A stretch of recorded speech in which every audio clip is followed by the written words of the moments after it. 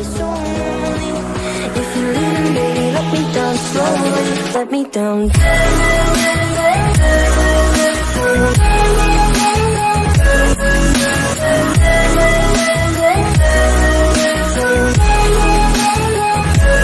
Let me down.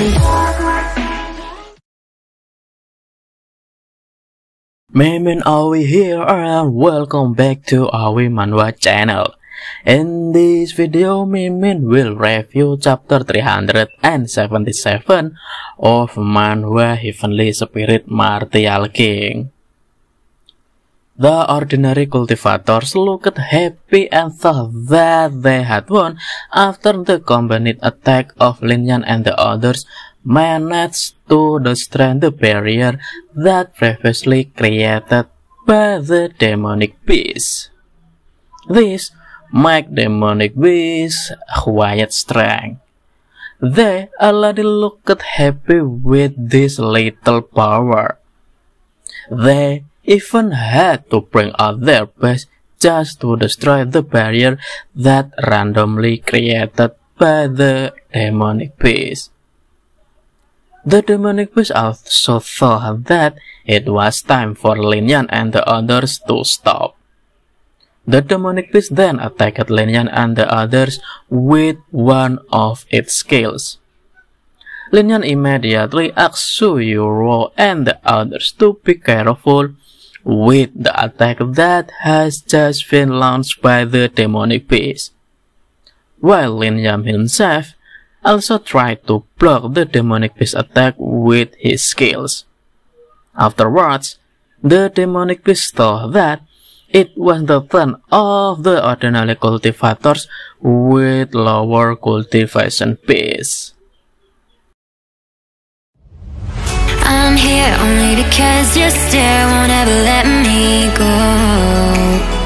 I'm here only cause I'm aware with you is better than all alone.